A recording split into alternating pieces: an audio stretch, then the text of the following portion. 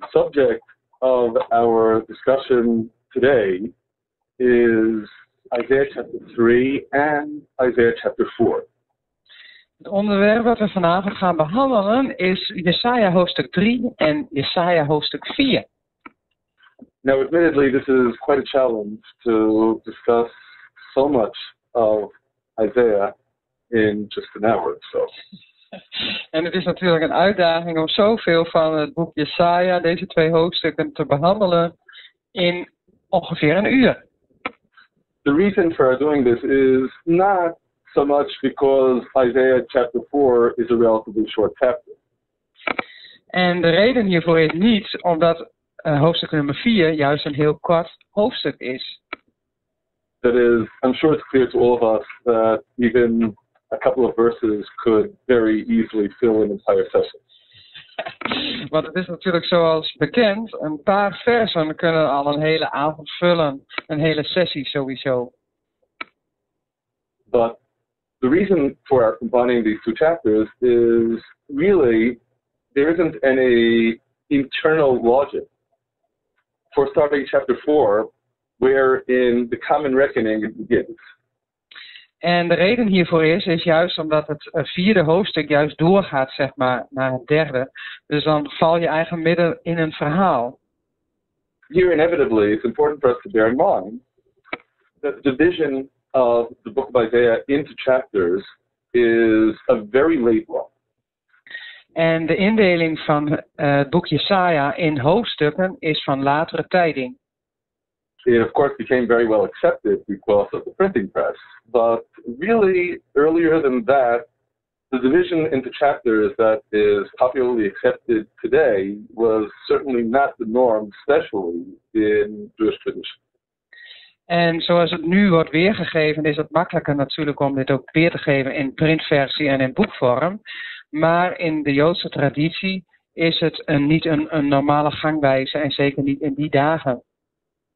Which means really that besides the realization that Isaiah chapter 3 and chapter 4 go together, in some sense, we certainly need to consider the relationship chapter 2, which we discussed last time. En uh, hoofdstuk 3 en 4 gaan we dus nu net behandelen en het lijkt dus één verhaal. Maar we grijpen ook terug op hoofdstuk 2, die wij de vorige keer hebben behandeld. So maybe that's the best way for us to begin our discussion today. En dat is dus uh, de beste uitgangspositie om de, vandaag de discussie vanuit te voeren. That is recalling where we concluded last time at the end of chapter 2. En wat was onze conclusie toen wij hoofdstuk 2 afsloten vorige keer? Now, you'll undoubtedly recall that chapter 2 begins with truly extraordinary, rousing words, speaking of the prophecy of the end of days and the ingathering of all nations to the mountain of the Holy Temple. En hoofdstuk 2 laat dan even teruggrijpen wat we vorige keer hebben behandeld. Zien dat het juist een, een, een profetie is over het laatste der dagen. Dat ook de naties zullen optrekken om naar Jeruzalem en naar de tempel van de Heere God te gaan. Maybe in particular, we should even go back to the opening verse of chapter 2. The word that Isaiah the son of Amos prophesied concerning Judah and Jerusalem. We lezen nog even het eerste vers van hoofdstuk 2. Het woord dat Jesaja, de zoon van Amos, aanschouwd heeft over Juda en Jeruzalem. I stress this opening verse because chapter 3, of course, chapter 4 as well, does not present this sort of title as an introduction to the prophecy that follows. En we grijpen hier juist even op terug, omdat juist in hoofdstuk 3 en 4 wij zo'n begin niet zien. Van beide hoofdstukken niet. Dat zien we dus wel in hoofdstuk 2, maar niet in 3 en 4. Which indicates that the word that Isaiah, son of Amos, prophesied concerning Judah and Jerusalem is in fact not just chapter 2, but also chapter 3 and also chapter 4. Dus juist omdat het niet boven die andere twee hoofdstukken staat, gaan we ervan uit dat eh, wat in vers 1 is geschreven van hoofdstuk 2, doorgaand ook geldt voor hoofdstuk 3 en 4. And indeed, besides rousing, truly inspiring words that we read at the beginning of chapter 2, we return to equally rousing and inspiring words in chapter 4. En zoals hoofdstuk 2 zo fantastisch begon met bemoedigende bewoordingen, zo eindigt het hoofdstuk juist met hele ja, verschrikkelijke woorden, zeg maar, van uh, verschrikking en van uh, de toorn. It's in the middle that things are very difficult and troubling. Juist in het midden van um, dit hoofdstuk ook gaat het juist moeilijker worden. Dan komen dus de problemen. And I remind you, in that vein, of the verses at the end of chapter 2. Let's review from verse 17. And the loftiness of man shall be bowed down, and the haughtiness of men shall be humbled, and God alone shall be exalted in that day. We beginnen eens te lezen met vers 17 van hoofdstuk 2. om weer erin te komen wat daarin is gezegd, wat ook doorgaat, zo direct in de andere hoofdstukken. Dan wordt de verwatenheid der mensen neergebogen en de trots der mannen vernederd. En de Heere alleen is ten dien dagen verheven en de afgoden zullen volkomen verdwijnen. And the description of the cataclysm that befalls us in that day. In verse 19, and men shall come into the caves of the rocks and into the holes of the earth from before the terror of God and the glory of his majesty when he arises to shake mightily the earth. Vers 19. Dan kruipt men in de spelonken der rotsen en in de holen van de grond voor de verschrikking des Heren en voor de luister zijner majesteit, wanneer hij opstaat om de aarde te verschrikken. And finally, verse 22, last verse of chapter 2. Cease you from man, in whose nostrils is the breath, for how little is he to be accounted. Hoofdstuk 2 eindigt met vers 22. Laat toch af van de mens, wiens adem in zijn neus is, want wat is hij te achten? When you consider the end of chapter 2 as the prelude to what follows, then of course the beginning of chapter 3 is not beginning something new. It is rather continuing the words of rebuke that we saw in chapter 2. En zoals hoofdstuk 2 eindigt, zo begint eigenlijk hoofdstuk 3. Het is de woorden van verschrikking en van afwijzing, van uh, het volk weer uh, weder tot zich richten, zeg maar. Het zijn heftige woorden en dat gaat dus verder in hoofdstuk 3.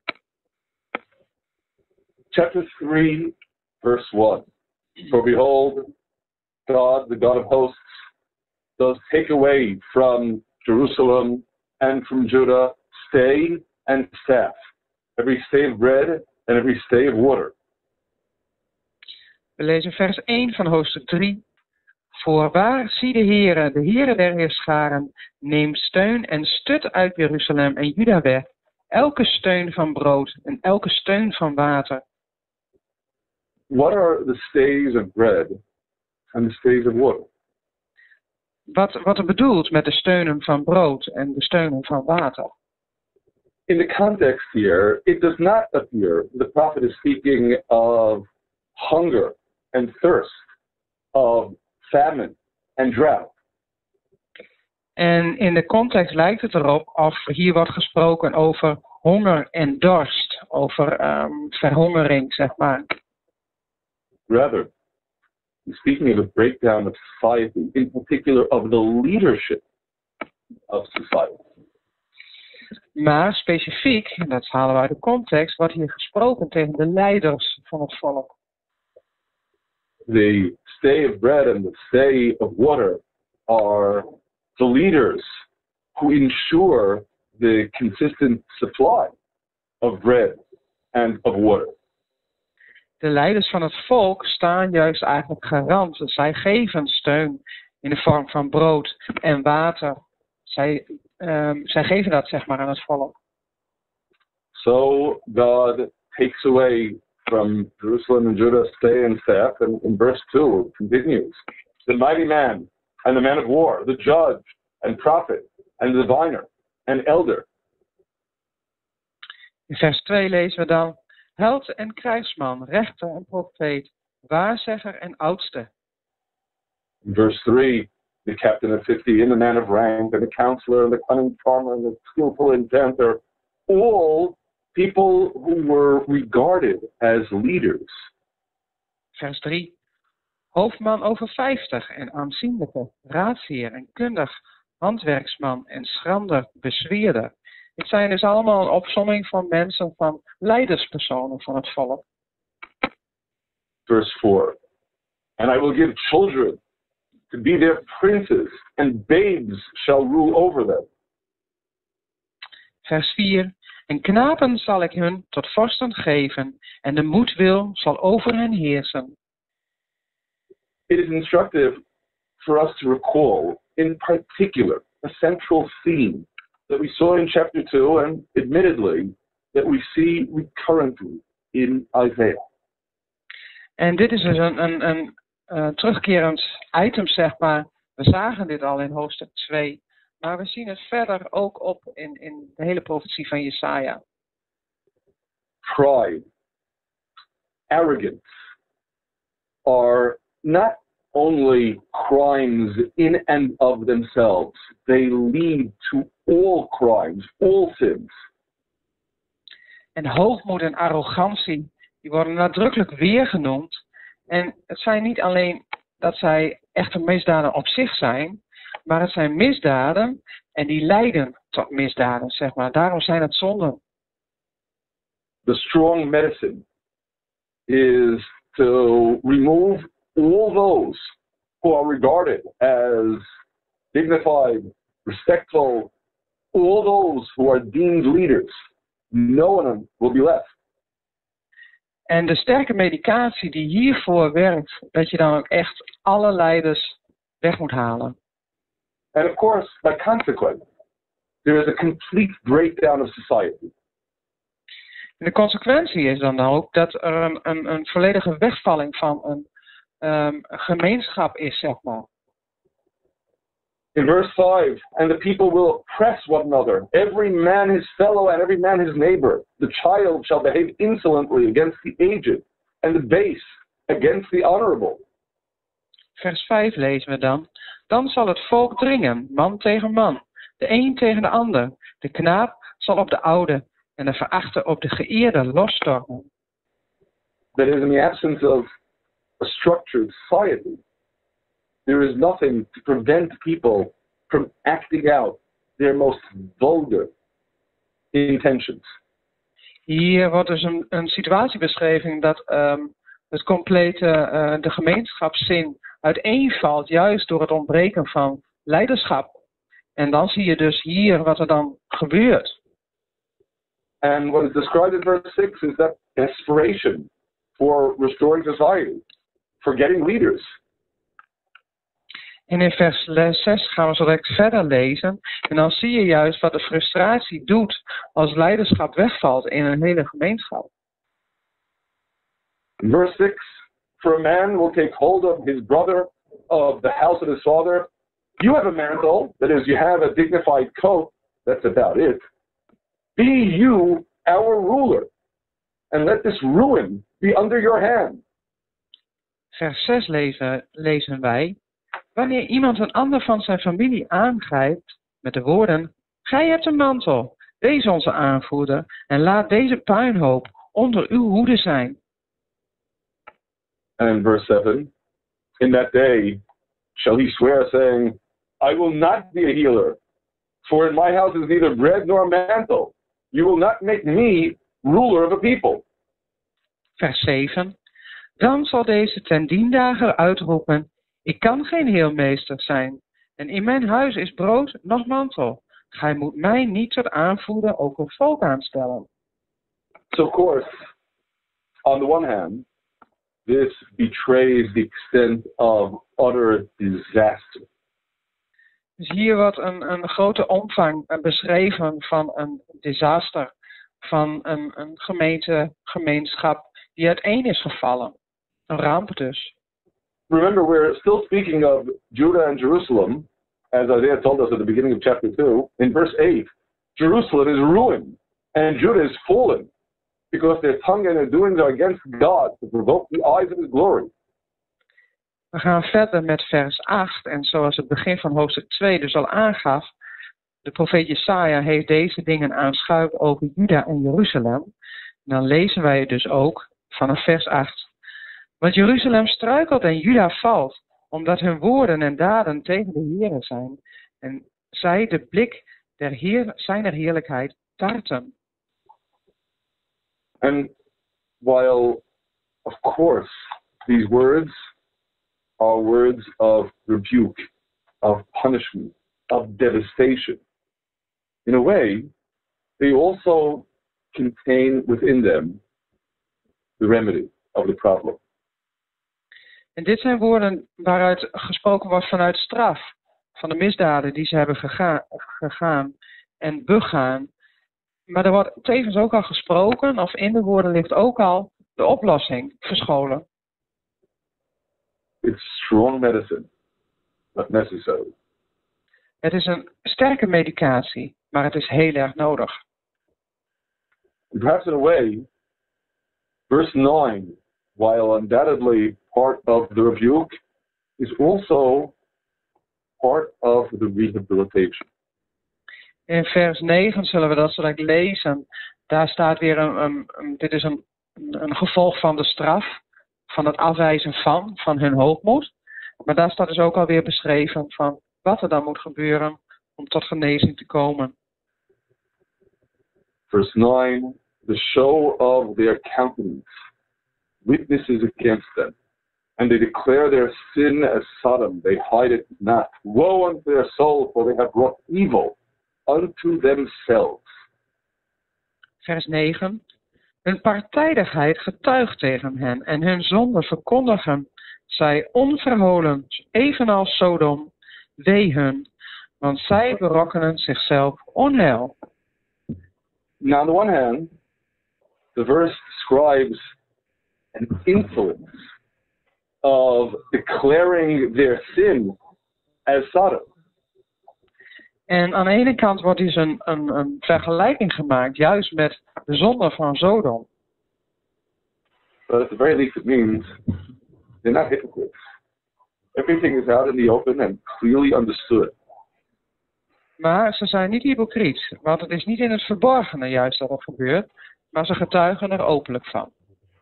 And furthermore, they recognize what's happening to them is a direct consequence of what they themselves have done.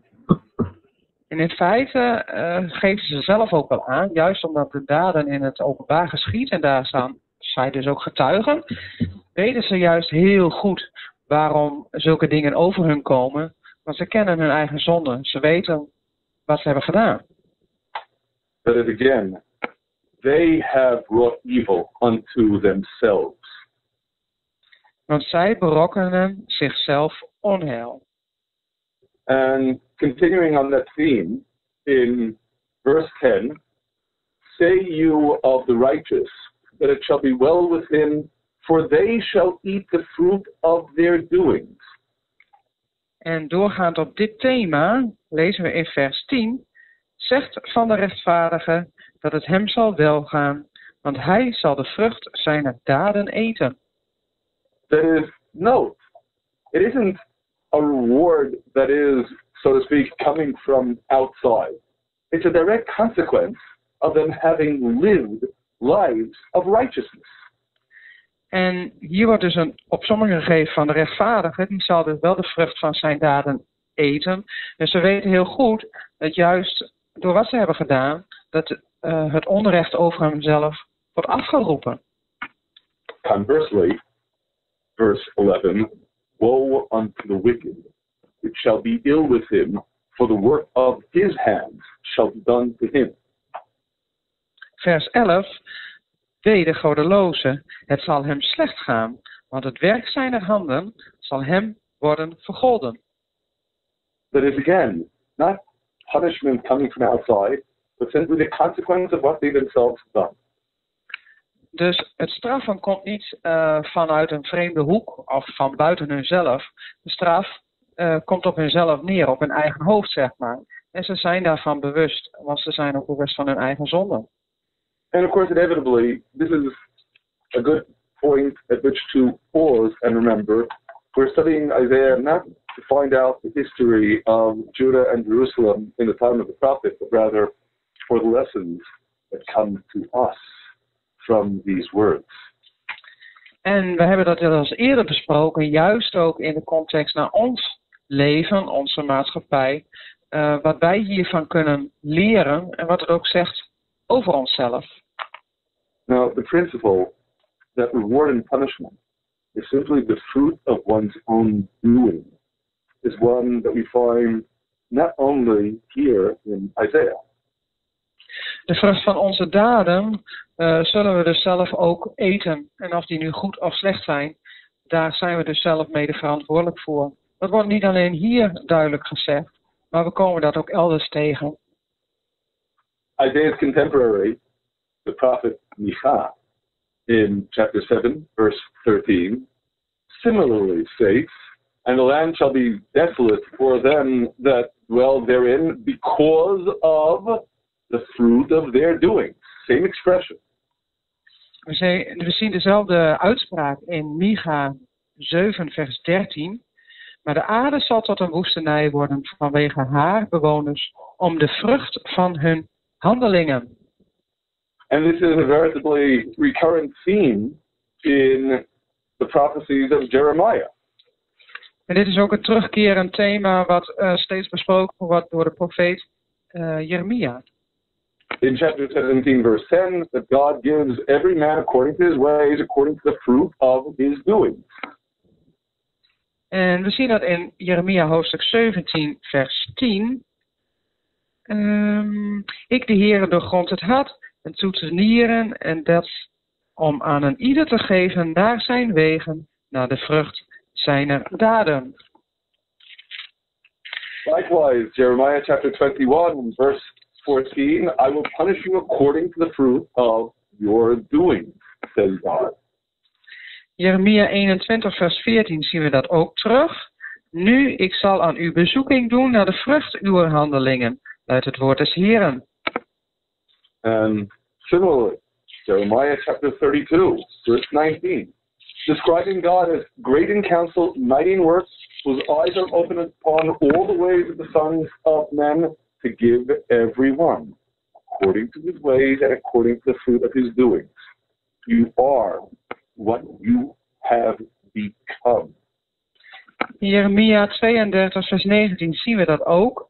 Groot van raad en machtig van daad, wiens ogen er open zijn over alle wegen der mensen, kinderen, om aan een ieder te geven naar zijn wegen en naar de vrucht zijner handelingen.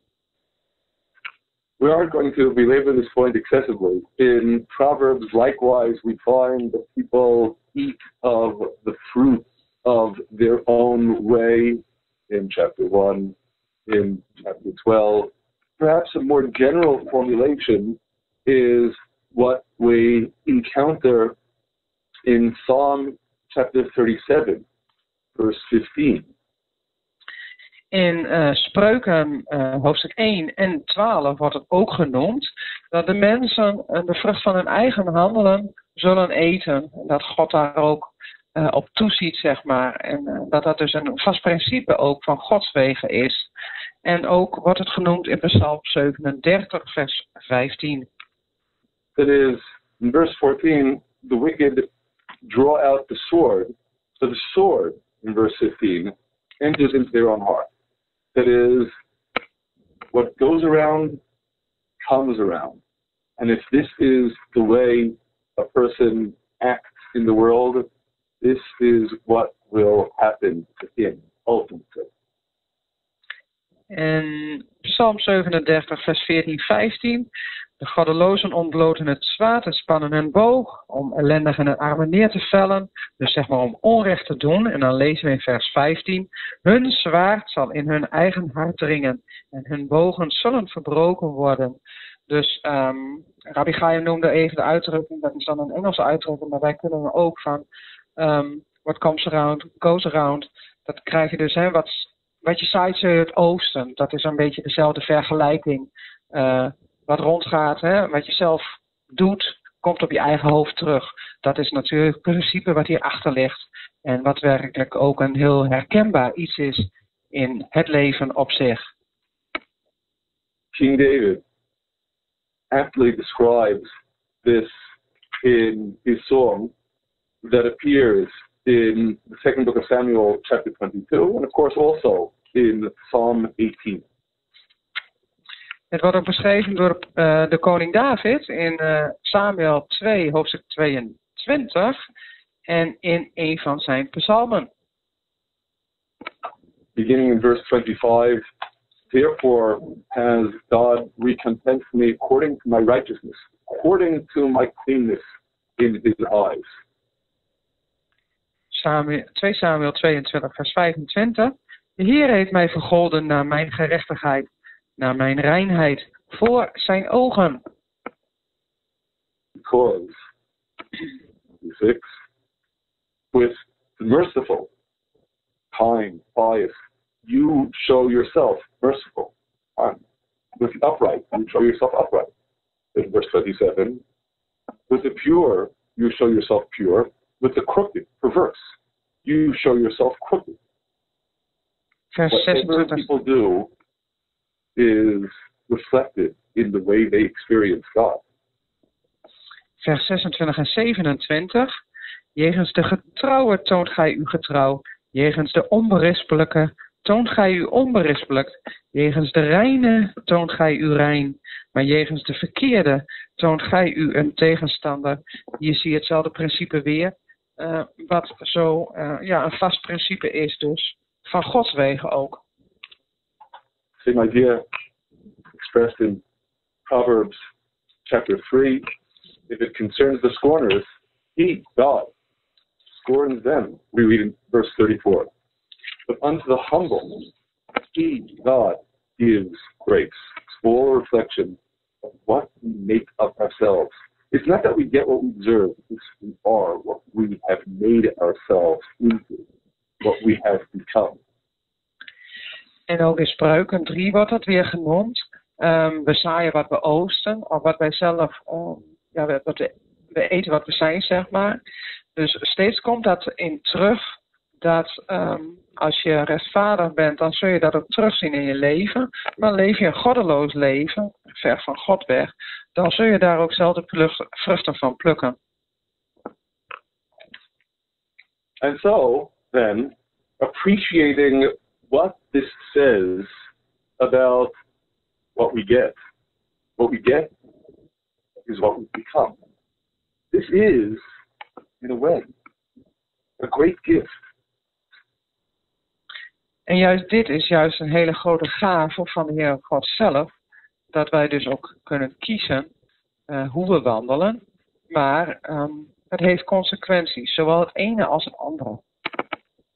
It is after all, the assurance that what we do, for better or for worse in this world, is significant. Het is juist de verzekering uh, van onze levenswandel in ons leven, hoe we zullen wandelen en wat de uitkomst daarvan is. Eigenlijk heel duidelijk dus. What we do has consequences. Wat we doen heeft altijd een consequentie. As expressed in Proverbs chapter 13, in verses 6 and 21, two sides of the coin. On the one hand, righteousness guards him that is upright in the way, but on the other hand, wickedness overthrows the sinner. Evil pursues sinners, but the righteous which shall be repaid. gaan we even kijken naar Spreuken hoofdstuk 13, vers 6 en vers 21. Dat zijn eigenlijk twee kanten van dezelfde medaille, um, van dezelfde munt. Vers 6. Gerechtigheid bewaart de onberispelijken van wandel, maar goddeloosheid stort de zondaren in het verderf. Vers 21. Het kwaad vervolgt de zondaren, maar de rechtvaardigen vergeldt hij het goede.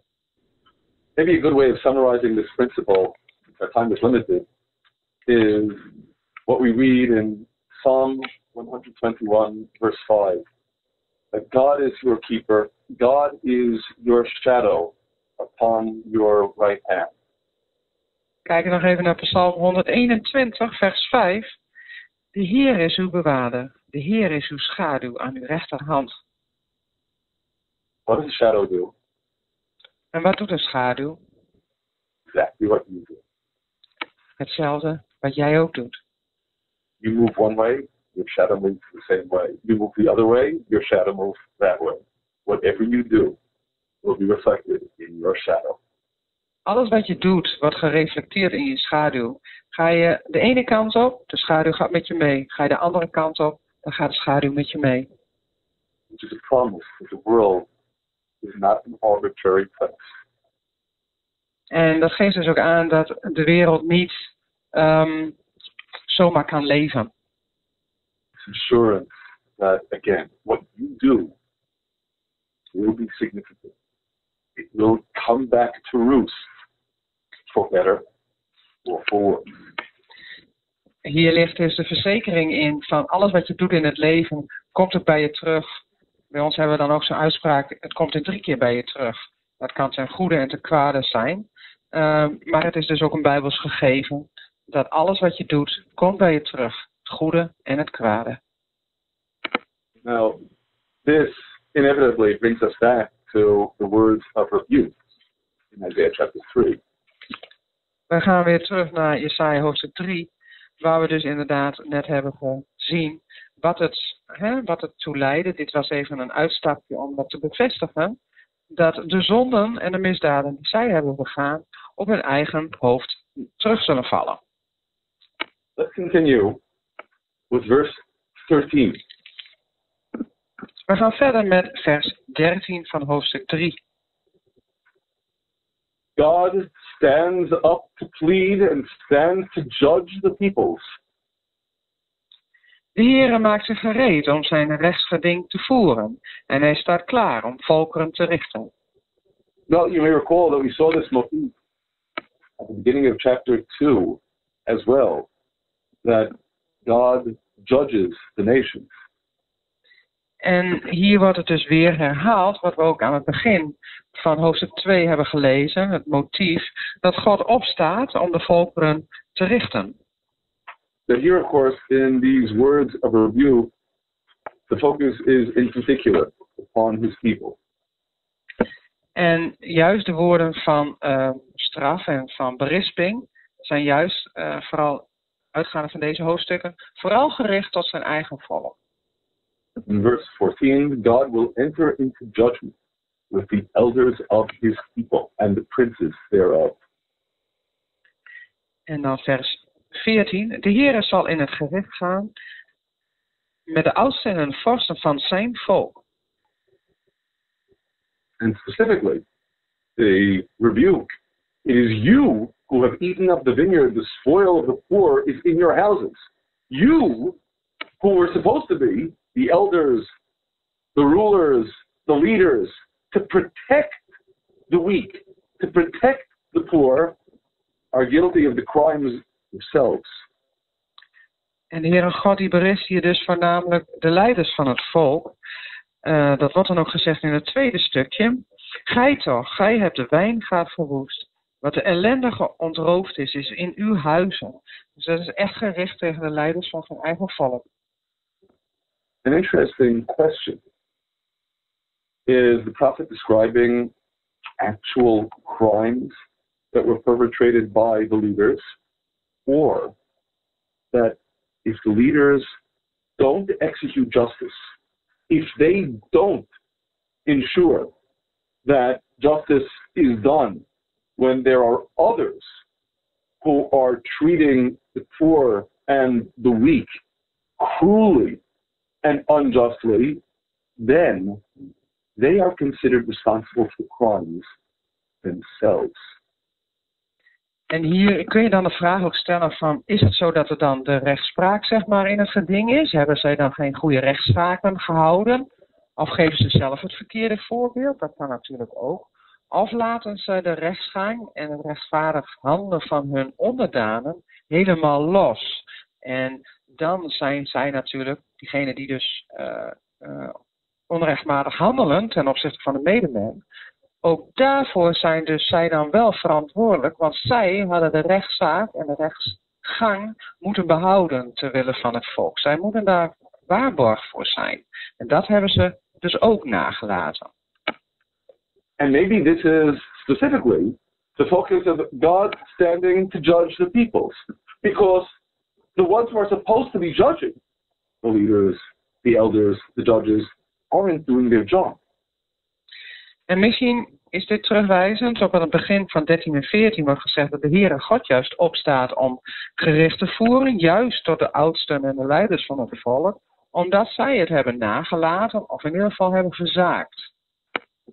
And you know, we've noted this in other contexts in the past, what God summons us to do, and the extent to which we heed his summons to be God's junior partners in ensuring a just and equitable society.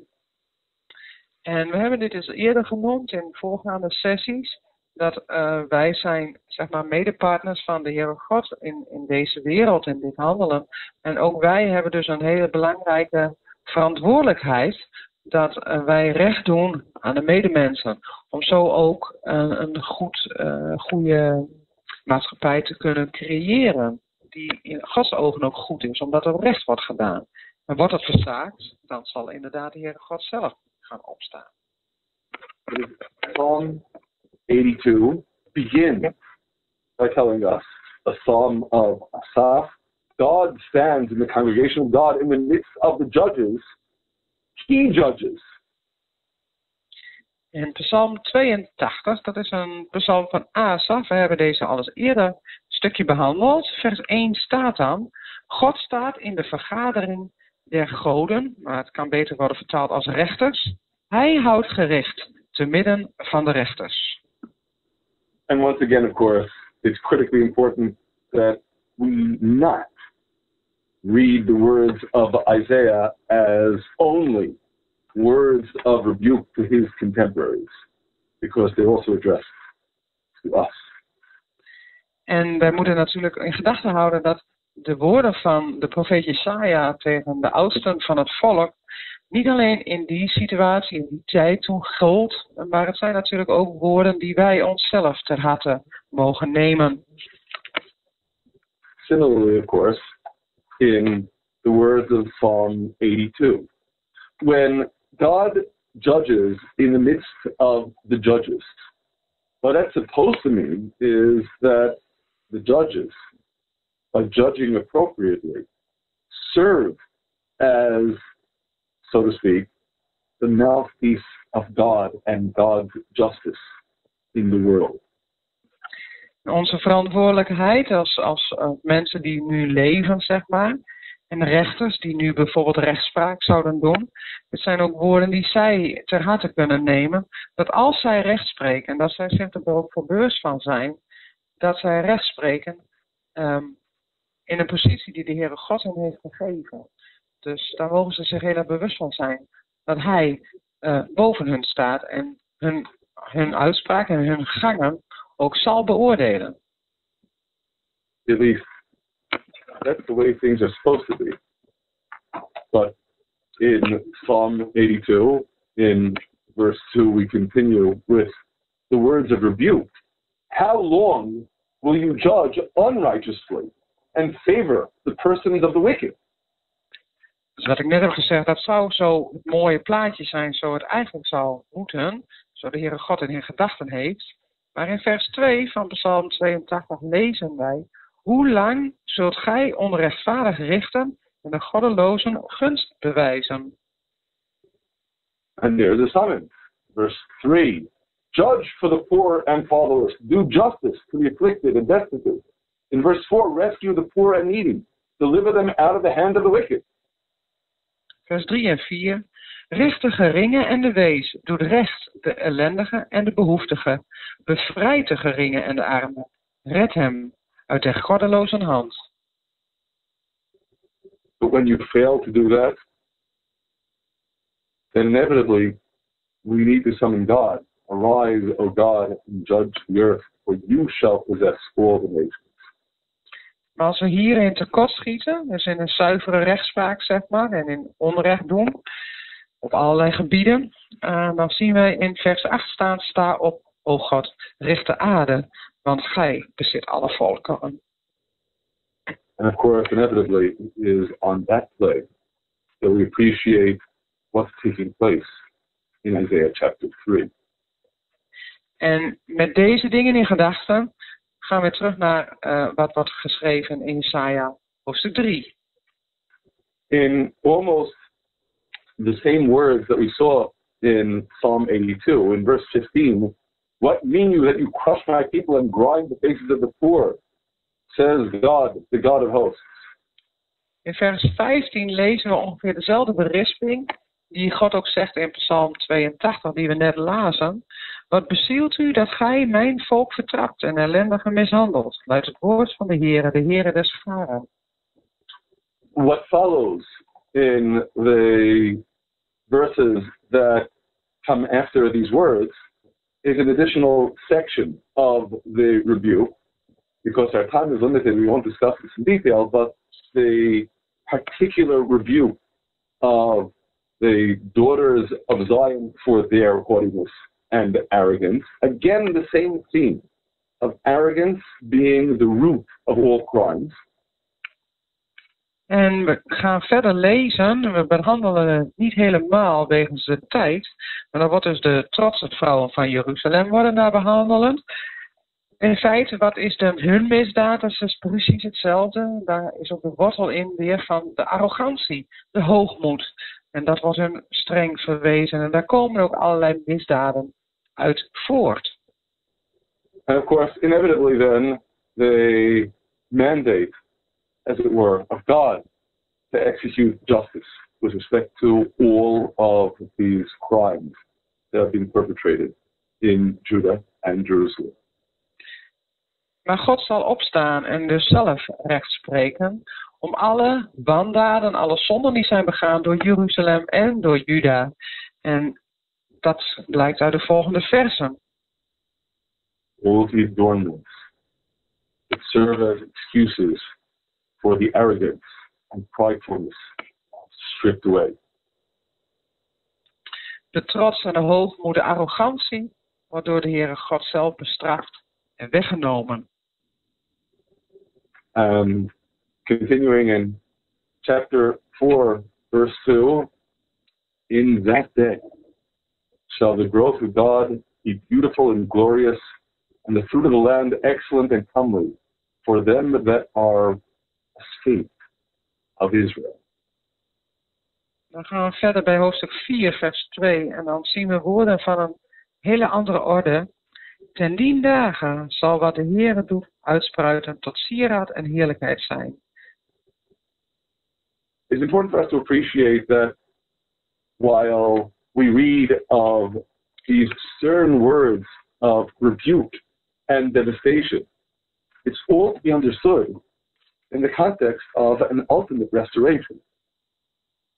En het is goed om te, in gedachten te houden dat in extreme beverzingen voorkomt, zeg maar, de straf, de berisping, de, de toorn van de Heere God, zeg maar, die, die losbreekt. Dan zie je dus ook een heel verschil weer met een uiteindelijke totstandkoming van iets heel nieuws, van een totale uh, heelheid weer, zeg maar. Dat God iets nieuws weer erop tot stand zal brengen. God's coming, God's entering into judgment is the means ultimately for this restoration. Altijd als God gaat opstaan om recht te spreken, is dat al, altijd met het uiteindelijke doel om tot zijn plan te komen. En dat er een, een, iets nieuws zal ontstaan. Dat er een totale restauratie zal zijn, zeg maar. Now, I feel compelled to add here the coming of God, and in particular, the day of God with its justice, is likewise a recurrent theme in Isaiah. In other prophets as well, but in particular in Isaiah. En in de profeet Jesaja is het juist ook altijd een terugkomend um, onderwerp dat de Heere God rechtspraak zal doen. Met het uiteindelijke doel dat alles vernieuwd en uh, herbouwd zal worden, zeg maar. Andere profeten benoemen dit ook eigenlijk altijd. Maar in de profeet Jesaja komt het wel opmerkelijk veel voor. It is indeed a terrifying theme. En het is inderdaad, als je goed over nadenkt, een heel verschrikkelijk onderwerp. Just to consider a number of examples. In Isaiah chapter 13, verse 6, Howl you, for the day of God is at hand. As destruction from the Almighty shall it come. Kijk en even naar Jesaja hoofdstuk 13 vers 6. En de verschrikkelijke dag die dan komt. Jammer, want de dag des Heeren is nabij. Hij komt als een verwoesting van de Almachtige. And in chapter 13, verse 9, behold, the day of God comes cruel and full of wrath and fierce anger to make the earth a desolation and to destroy the sinners thereof out of it. Vers 9. Zie, de dag des Heeren komt, meedogenloos met verbolgenheid en brandende toorn, om de aarde tot een woestenij te maken en haar zondaars van haar te verdelgen. And indeed, in the final chapter of Isaiah, theme is expressed in terrifying terms. In chapter 66, verses 15 and 16, For behold, God will come in fire, and his chariots will be like a whirlwind, to render his anger with fury, and his rebuke with flames of fire. For by fire will God enter into judgment, and by his sword with all flesh, and the slain of God will be many. En ook in het laatste hoofdstuk van de profeet Jesaja, dat is hoofdstuk 66, vers 15 en 16, komen vreselijke woorden. Er worden daar genoemd, en ik zal ze even voorlezen. Want zie, de Heer zal komen als vuur en zijn wagens zullen zijn als een storm, om zijn toorn te openbaren in gloed, in zijn dreiging in vuurvlammen. Te vuur en te zwaard zal de Heer een gericht oefenen over al wat leeft, en de door de Heeren verslagenen zullen talrijk zijn. Dat zijn natuurlijk hele verschrikkelijke woorden die je met ontzag mag lezen ook. And yet, as we saw in chapter 4, verse 2, this doesn't lead only to devastation, it also leads to restoration. Maar hoe verschrikkelijk deze woorden ook zijn, als de Heer een gericht gaat spreken, het heeft altijd het doel om uiteindelijk tot een nieuwe uh, um, opbouw te komen, een nieuwe constructie, zeg maar. Dat er altijd iets nieuws zal volgen. Het is niet het einde. In Isaiah chapter 40, verses 9 and 10, we also read about the coming of God, but very different life. Hmm. In Jesaja 40, vers 9, en daar hebben we ook een, een, hier wordt ook verteld dat God zou komen, maar juist op een hele andere manier. Verse 9. O you who tells good tidings to Zion, get you up into the high mountain. O you who tells good tidings to Jerusalem, lift up your voice with strength, lift it up, be not afraid. Say unto the cities of Judah, Behold your God. In verse 10, Behold, God the Lord will come as a mighty one, and his arm will rule for him. Behold, his reward is with him, and his recompense before him. We lezen Jesaja 40, vers 9 en 10. Klim op een hoge berg, vreugdebode Sion, verheft uw stem met kracht. Vreugdebode Jeruzalem, verheft ze, vrees niet. Zeg tot de steden van Juda, zie, hier is uw God. Zie, de Heere Heere zal komen met kracht en zijn arm zal heerschappij oefenen. Zie, Zijn loon is met hem, bij hem, en zijn vergelding gaat voor hem uit. Is this a contradiction to the themes of terror that we saw associated in the other excerpts from Isaiah and including in our chapter with respect to the day of God's coming? En is hier dan uh, sprake van een tegenspraak? Is dit uh, niet in samenhang met elkaar? Als we uh, terugdenken aan versen die we net hebben gelezen, hoe God zich dan openbaart in zijn toorn en in zijn vuur en met zwaard. En dan is dit een, een vers van een hele andere orde, lijkt het wel. Is dat met elkaar in tegenspraak of lijkt dat nog zo? Course it's not a contradiction. En natuurlijk is het niet met elkaar in tegenspraak. The simple answer, not a contradiction, is of course that in chapter 40 we speak not only of the punishment, but also the reward. En hier ligt juist dan het antwoord in dat juist in Jesaja hoofdstuk 40 niet alleen wordt gesproken van bestraffing, maar juist ook met beloning. Of course, this is the theme that we discussed at the outset today the realization that both reward and punishment are natural, inevitable outgrowths of what we ourselves have done. En het antwoord hebben we straks ook al gelezen in hoofdstuk 3 en 4 van Jesaja, wat we behandelen. Want in feite het loon of de straf hebben wij zelf een beetje in de hand naar onze eigen daden. Want dat komt op ons eigen hoofd terug. Wij zullen uh, zaaien, wat, uh, zaaien of oosten wat bezaaien. Dus dat geldt voor de goede en dat geldt voor de wandaden die we doen. But I think there's an additional dimension that we should stress. It is undoubtedly critical to our understanding of the final restoration and resolution in the verses of Isaiah chapter 4. Maar het is allebei nodig, het loon, maar ook de bestraffing, om tot een uiteindelijke uh, herbouw of een vernieuwing van alles te komen. This is a theme that we find expressed at the end of Psalm 96 and Psalm 98 and in the first book of Chronicles in chapter 16. En dit is een thema wat ook terugkomt in Psalm 96, Psalm 98 en in 1 Kronieken 16. In all of these excerpts, we see the recurrent theme of God coming to judge the earth. In al deze dingen die we dus niet hebben, net hebben opgenoemd, in die psalmen en een stukje van Kronieken, wordt dus genoemd dat God komt om de aarde te richten. God coming to judge the earth, we would think, would elicit terror, great fear on the part of everyone.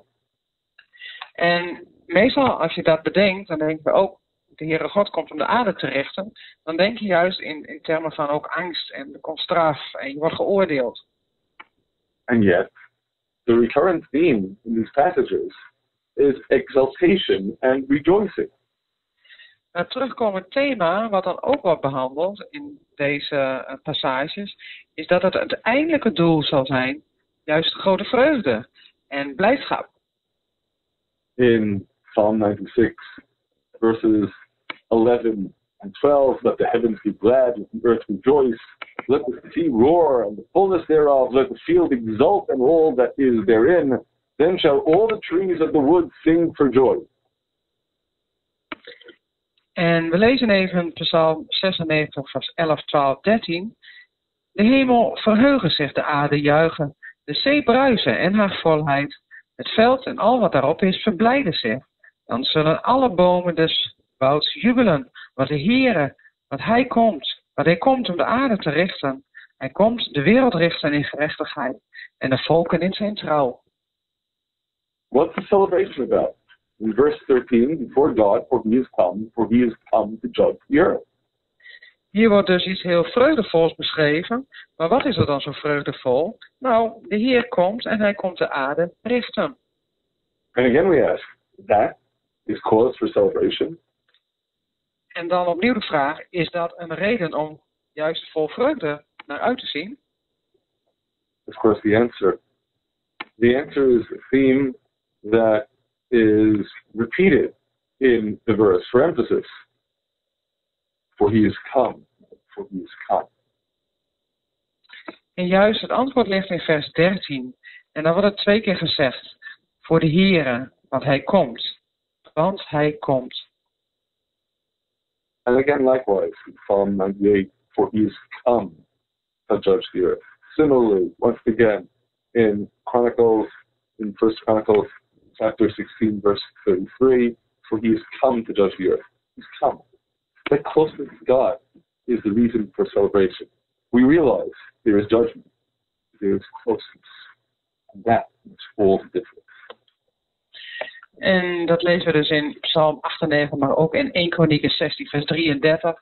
Wat is het hoofdthema? De Heere God komt. En hij komt naar ons toe, hij komt naar deze aarde toe, om de aarde te richten. Maar uiteindelijk ligt daar ook de verlossing in van de aarde. And this undoubtedly helps us to understand more deeply the promise of restoration that we see again in Isaiah chapter 4, in verse 2. The growth of God will be beautiful and glorious, the, the fruit of the land excellent and comely. The land blossoms once again. En dat thema, dat komen we dus ook weer terug in Jesaja. Dat juist als de Heere God opstaat om de aarde te richten, dan is dat met het doel om alles te vernieuwen. En daarin ligt dus de grote vreugde. En dan zijn er dus ook woorden van um, opbouw weer en om mensen uh, te bemoedigen juist ook voor het komende gericht. Admittedly, Isaiah is not the only prophet who speaks of the restoration in terms of the land of Israel bringing forth its fruit bountifully again. En de profeet Jesaja is niet de enige profeet die dan ook refereert dat alles vernieuwd zal worden en dat het land ook de vruchten zal voortbrengen. Perhaps most famously, prophet Ezekiel in chapter 36 gives us a prophecy that is directed at the mountains of Israel, the mountains of the land of Israel. He's summoning them to deliver forth their fruit bountifully. Hmm. In Ezekiel wordt dit herhaald, zeg maar. Uh, hij spreekt in hoofdstuk 36, vers 1. En dan wordt er ook gezegd van profiteer over de bergen van Israël. En zeg bergen van Israël hoort het woord des Heren. Dan wordt er een oproep zeg maar, gedaan om vruchten voor te brengen. Hij spreekt er bergen tot het land Israël. It's a very inspiring passage, but time prevents us from reading more than just one critically important verse. Verse 8 that you, O mountains of Israel, you shall shoot forth your branches and yield your fruit to my people Israel, for they are at hand to come. En doordat we bijna door onze tijd heen zijn, maar we willen nog wel zeker even noemen Ezekiel 36 vers 8. Um, maar gij, berg van Israël, zult uw takken voortbrengen en uw vruchten te dragen voor mijn volk Israël, want nabij is zijn komst. Heel bemoedigende woorden. In our tradition, this verse represents a critical sign for us that when the land of Israel once again brings forth its fruits bountifully, that is a sign that my people Israel are at hand to come. Mm, en dit zijn juist in de traditie van het Joodse volk zijn het hele bemoedigende woorden. Want juist toen zij zeg maar ook terugkwamen naar het land, juist dit soort dingen letterlijk ook zagen uh, gebeuren, dan weten ze ook dat de komst van de Heer dichtbij is. So of course we understand these words completely, literally, without any question. Mm, dus we kunnen deze woorden heel goed verstaan. Dus er gewoon letterlijk te lezen en te harte te nemen. When you read, for example, the recordings in Innocence Abroad of American author Mark Twain from the middle of the 19th century, when he came to the land of Israel, and he described a land of utter desolation and devastation. And you look around today, you realize these words can definitely be understood completely literally. Mm.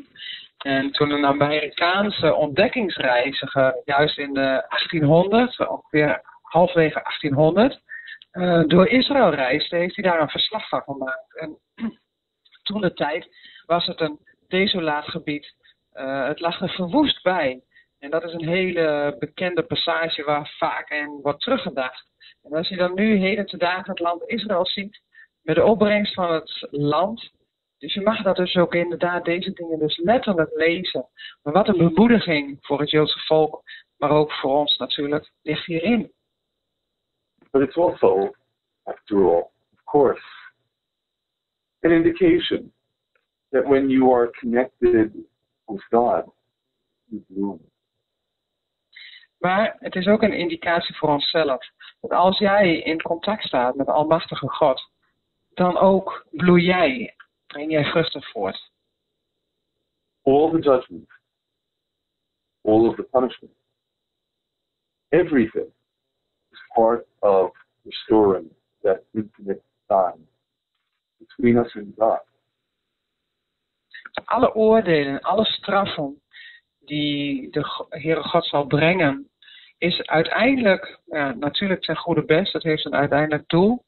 Maar het komt van zijn wegen. En het heeft altijd, het is ten goede van ons, zeg maar. Het is ook ten goede van de hele mensheid.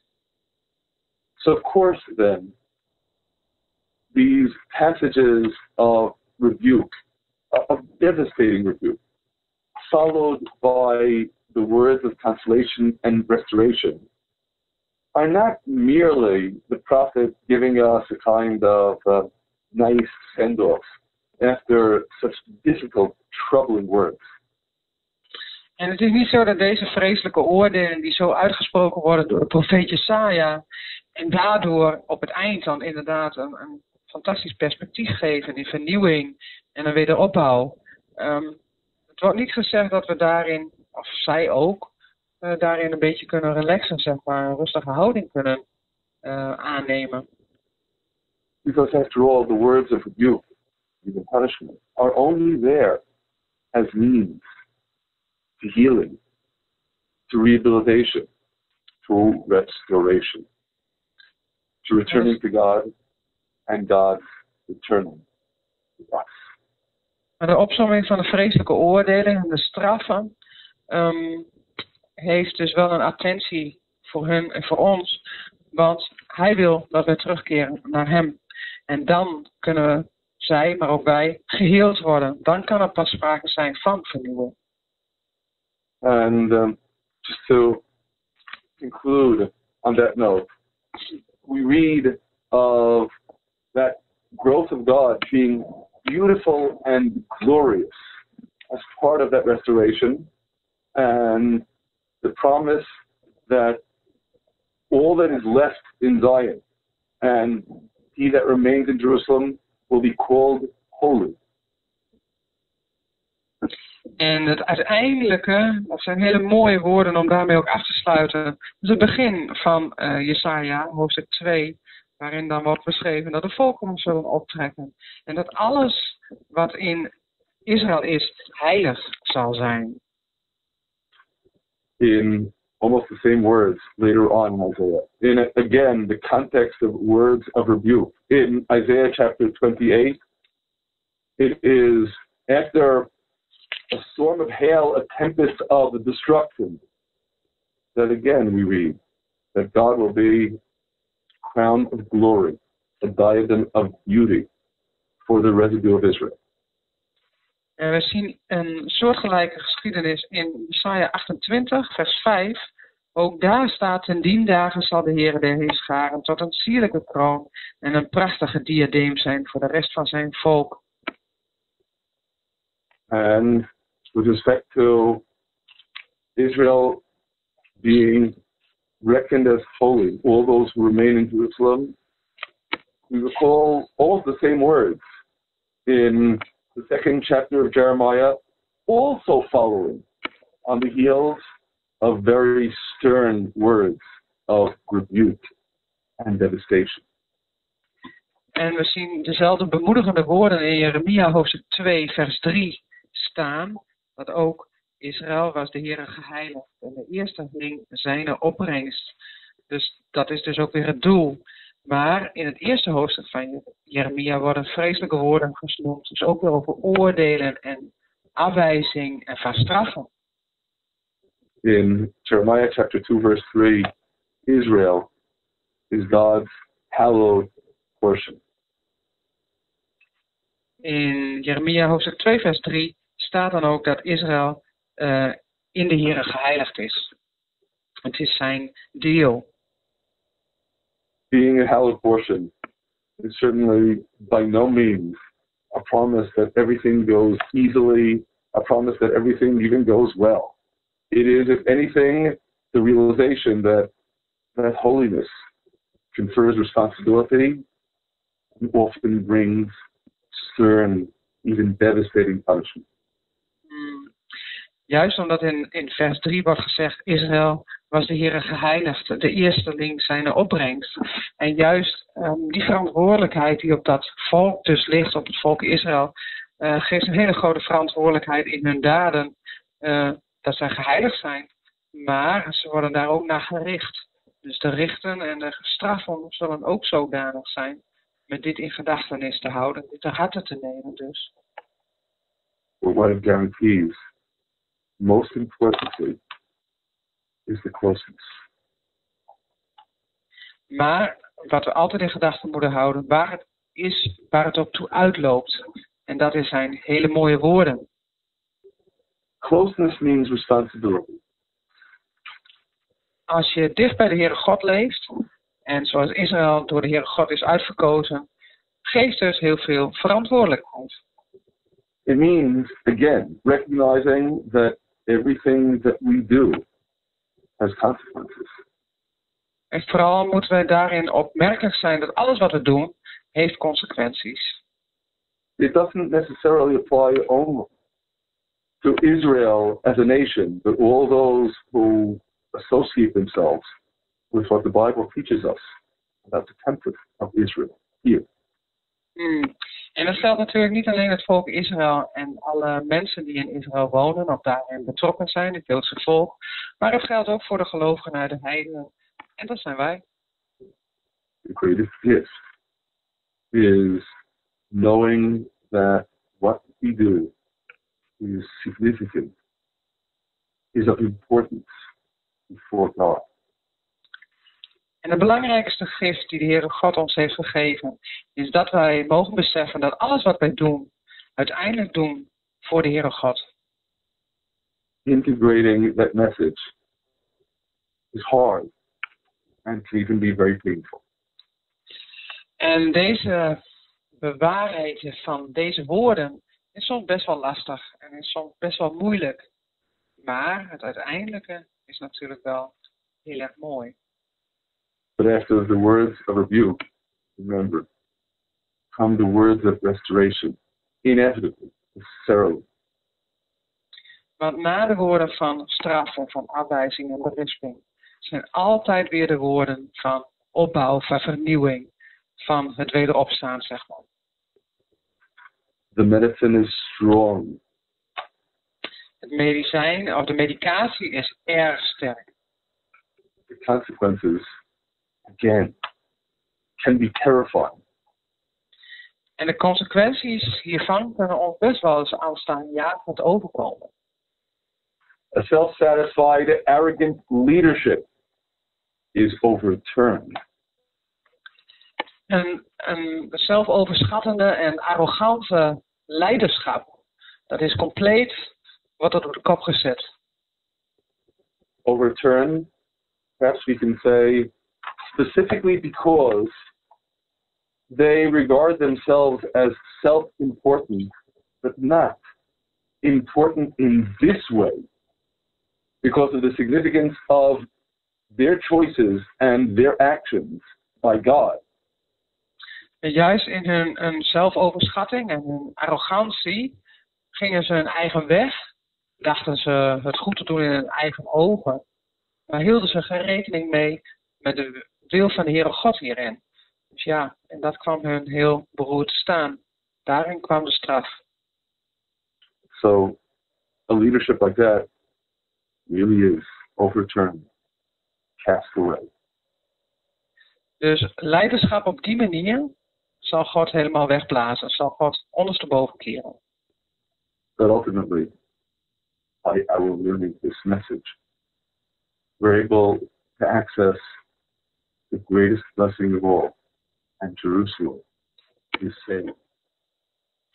Maar juist door deze boodschap en door dit, deze hele sterke meditatie is wel uiteindelijk de overlossing dat Jeruzalem gespaard is gebleven. May we all make the choices that enable us to be part of that salvation and that blessing by God. En dat we allemaal ons bewust zijn van de keuzes die wij maken. En dat wij uiteindelijk zullen gaan voor ehm, de redding en de vernieuwing die van de Heere God komt. You. God zegent jullie.